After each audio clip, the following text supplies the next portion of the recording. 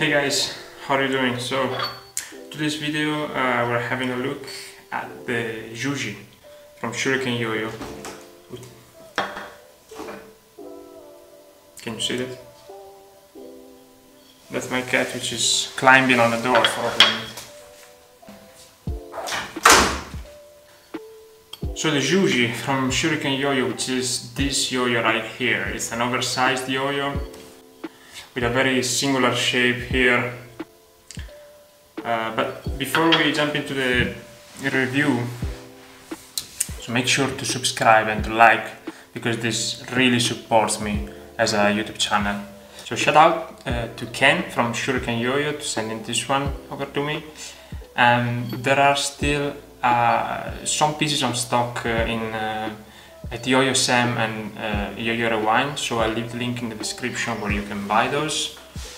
And um, yeah, without further ado, let's jump into the review. Oh, Juji come in this nice paper box with Shuriken logo on it. I got the orange version as you can see, it's a color that I really like.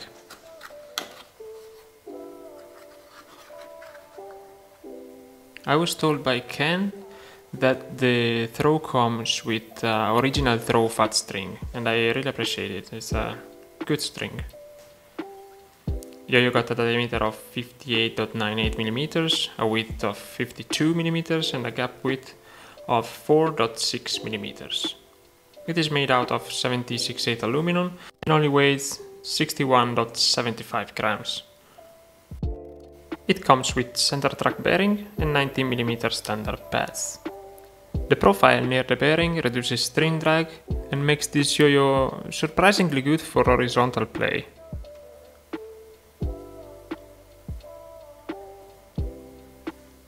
The finish and the overall manufacture are really nice.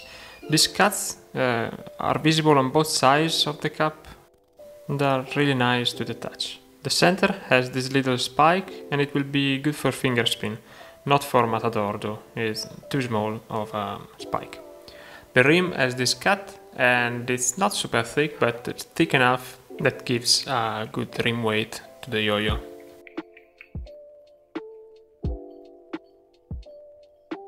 As far as engravings, there is this minimalistic Juji Shuriken here on the cup and it's in uh, one cup only.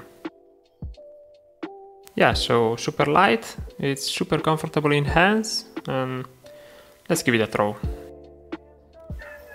First impressions, big, lightweight and powerful.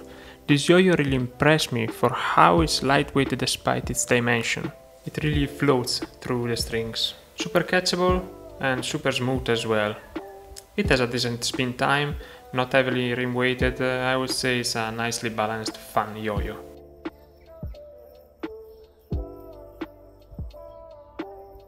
As far as grinds are concerned, the finish on this yo-yo is really good for them.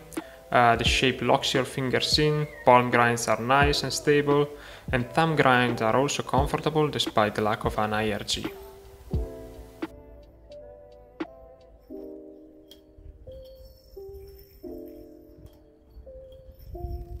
If you are into finger spins, you'll find this yo-yo very good for them. I know DNA is the new walk the dog, but I don't give a f I find it uh, really fun and really satisfying to throw, so I will keep throwing it.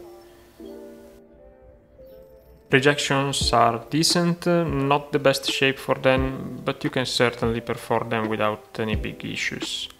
Regens are surprisingly good. Uh, I think it's thanks to its uh, steep walls that keeps help driving the string straight out of the yo-yo. Yeah, found them really satisfying to throw. Um, yeah, not this one, but uh, this was not the yo-yo, this was me.